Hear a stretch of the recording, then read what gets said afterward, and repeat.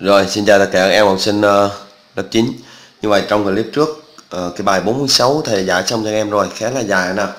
Trong clip hôm nay thầy tiếp tục hướng dẫn cho các em ở cái bài 47 các em nha Cái đề bài sau các em. Giải các phương trình sau bằng cách đưa về phương trình tích.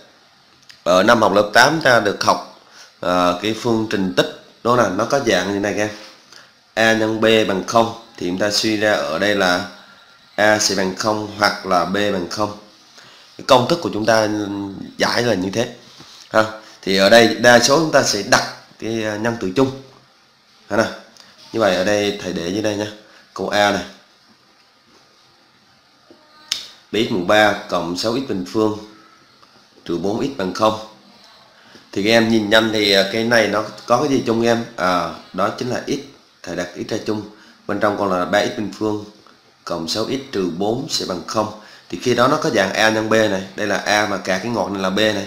Thì từ đây chúng ta sẽ suy ra x này sẽ bằng 0 à, 3x mũ 2 cộng 6x trừ 4 sẽ bằng 0 sau đó các em sẽ ký hiệu ở đây là 1 các em ghi là giải 1 giải 1 ở đây là 3x mũ 2 cộng 6x trừ 4 bằng 0 thì ở đây chúng ta giải cái này ra thì đây chúng ta sẽ tính delta phẩy sẽ bằng 3 bình phương trừ cho AC 3 nhân cho âm 4 ở đây. Như bằng 9 n cộng cho 3 4 12 thì sẽ bằng là 21 cái này lớn hơn không? Thì suy ra căn bậc 2 của delta phẩy sẽ bằng là căn bậc 2 của 21 như vậy ở đây chúng ta có x1 trừ b b phẩy, nghĩa là trừ 3 cộng căn 2 của 21 chia cho a nghĩa là là 3 có đúng chưa nào? Đó và x2 của chúng ta sẽ bằng âm 3 trừ căn 2 của 21 chia cho 3 như vậy phương trình ta có mấy nghiệm em. Vậy phương trình có 3 nghiệm. Đó chính là gì? X bằng 0 đó là 1 bằng 0 à, x2 chúng ta là bằng âm 3 cộng căn 2 của 21 chia 3 và x3 của chúng ta là âm 3 âm căn 21 chia cho cho 3 để cho. Ta xem lại một xíu nào.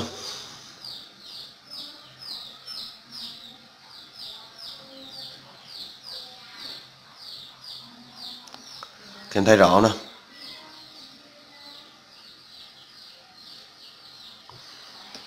Ok. Ta đi sang câu B nhé ta sang câu B nhé thì đề thầy viết lại x cộng 1 tất cả mũ 3 trừ x cộng 1 sẽ bằng x trừ 1 x trừ 2 như vậy thì ở đây à, chúng ta xem này.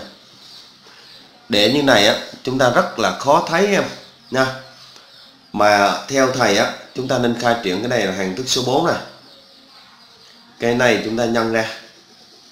Đa thức nhân đa thức. Sau đó chúng ta chuyển vé đổi dấu, nha.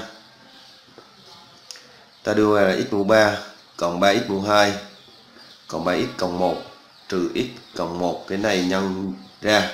Trở thành x bình phương, trừ 2x trừ x cộng 2 chúng ta sẽ chuyển hết ra phía này để đổi dấu, x mũ 3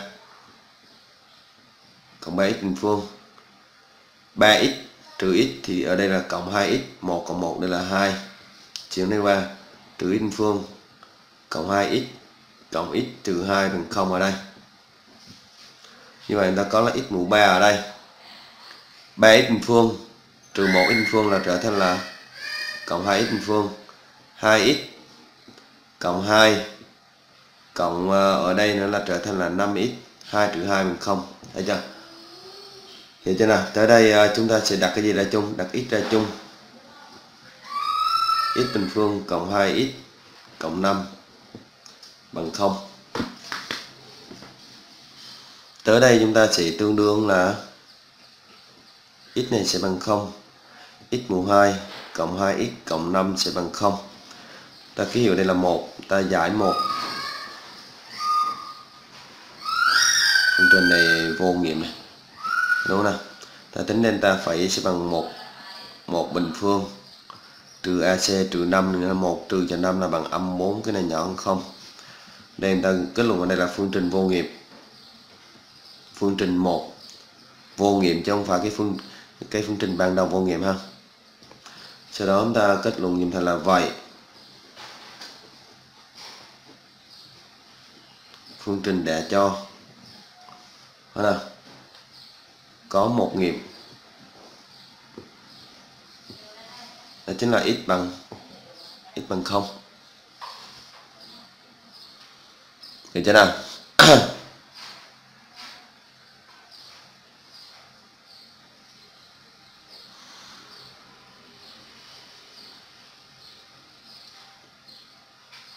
Tay sang con xe nhé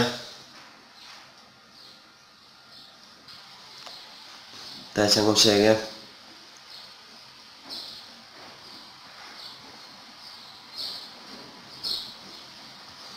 đối cái bài này á, chúng ta đừng khai triển ra hàng thức mà chúng ta chuyển này qua. Khi đó nó sẽ có cái dạng hàng thức số mấy em? Thầy chuyển qua các em bạn nào thấy nhé. Toán học thì đòi hỏi chúng ta cần phải linh hoạt và thông minh một chút nha.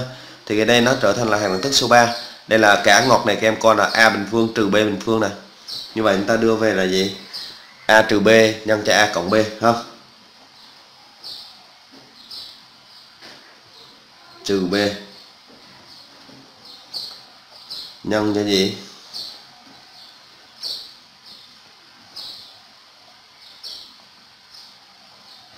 Đó. Vậy thôi. Giờ chúng ta bỏ ngoặc ra. Trừ 4 cộng 1 ở đây.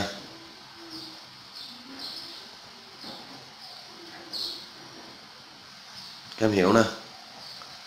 Nhưng ở đây x bình phương. Trừ 3x cộng 2 thì x bình phương cộng 5x bằng 0 thì tới đây thì dễ rồi đúng không các em? Tới đây thì uh, chúng ta sẽ uh, cho x phương trừ 3x cộng 1 à, ờ, cộng 2 bằng 0 và x bình phương cộng 5x ở đây bằng 0 như vậy đây ta ký hiệu đây là 1 đây là 2 chúng ta giải 1 x mũ 2 cộng 3x cộng 2 bằng 0 thì đây cái phương trình nó có dạng à, đặc biệt. Đó nè. Ờ, có phương trình có dạng a cộng b cộng c bằng 0 chúng ta có x1 thì bằng 1 và x2 sẽ bằng là gì? C trên a nghĩa là bằng 2 chia 1 là bằng bằng 2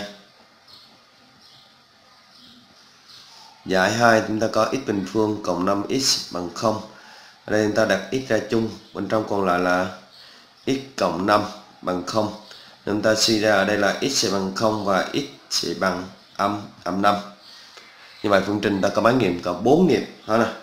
Như vậy, phương trình đã cho có 4 nghiệm. X1 bằng ờ, bằng 1 x2 sẽ bằng 2 x3 thì bằng 0 vì x4 sẽ bằng âm âm 5 được chưa? À, ok. Rồi.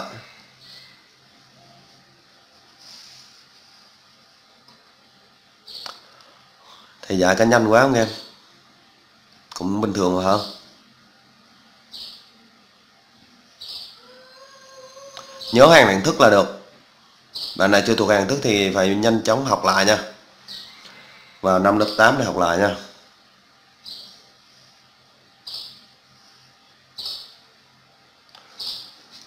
Chúng ta sẽ à, đi sang câu D nha. Rồi chúng ta có câu D nha.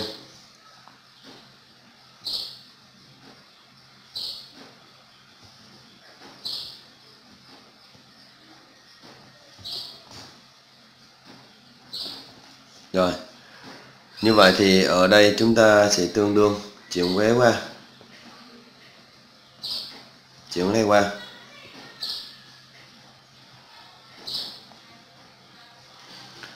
Các em thấy nó giống nhau không? À, có x cộng 2 cộng 2 x cộng 2 giống nhau. Ta đặt ra chung. Thì bên trong này còn lại một lần nữa không nào? Tại vì nó bình phương mà. Bên ngọt đây là còn trừ 6 bằng không.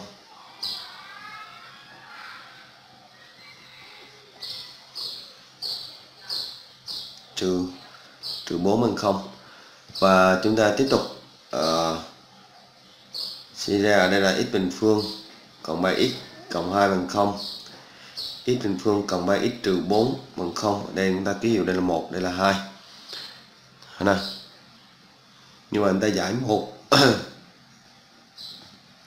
X phương cộng 3x cộng 2 bằng 0 thì phương trình này nó có dạng là gì? A trừ b cộng c bằng 0 đúng không? À, phương trình 1 à, ờ, có dạng a trừ b cộng c bằng 0 như vậy nghiệm x1 này sẽ bằng là âm 1 và nghiệm x2 là bằng trừ c trên a nghĩa là bằng trừ trừ 2 hết mực nè các em. Còn mà. Ta có giải hai. Sẽ giải?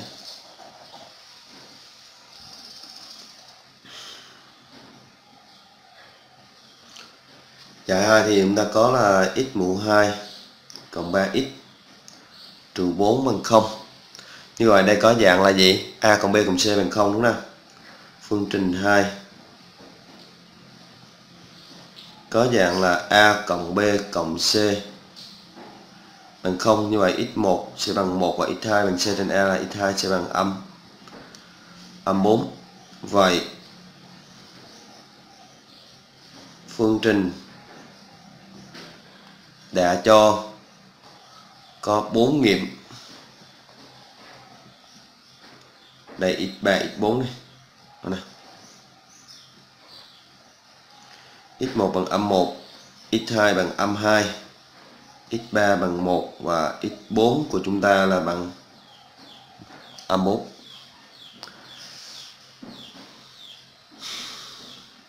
được chưa nào?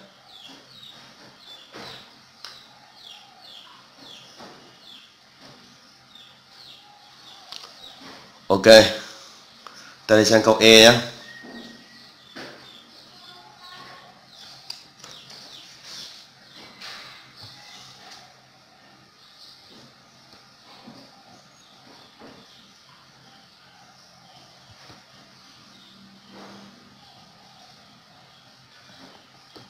Rồi, ok. Ở đây á, Cái ngọt này chúng ta ghi lại này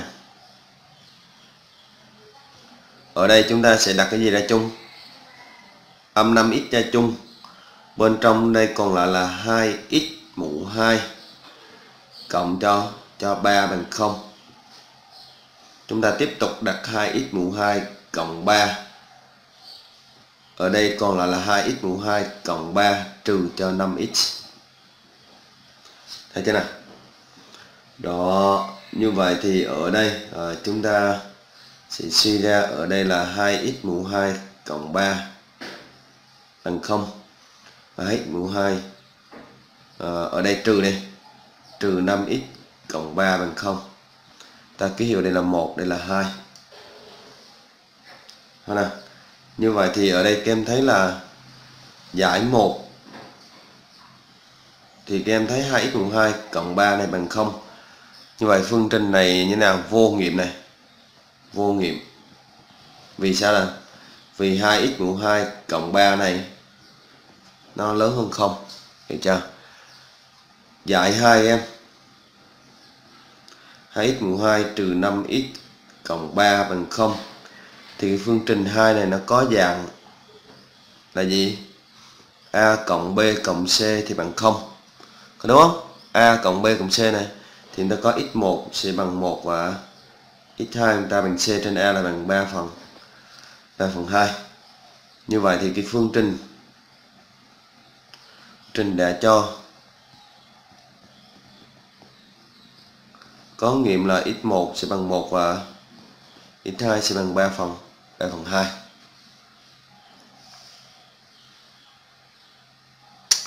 được em? Hiểu chưa nào?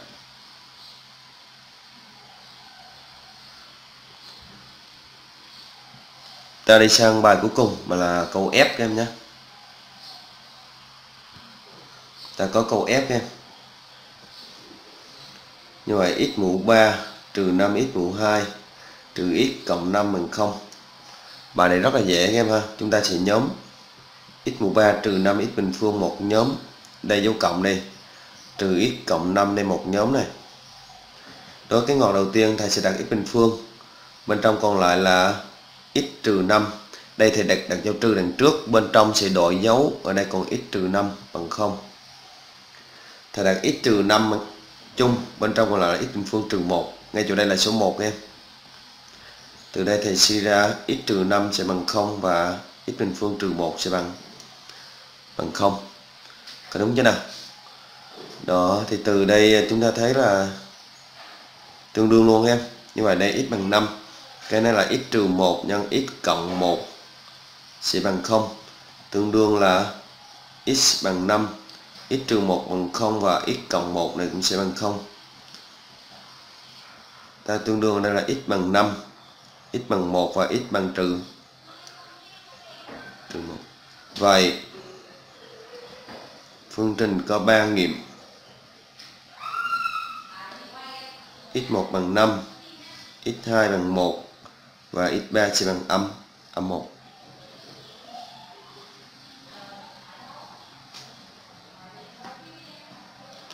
Ok. Rồi.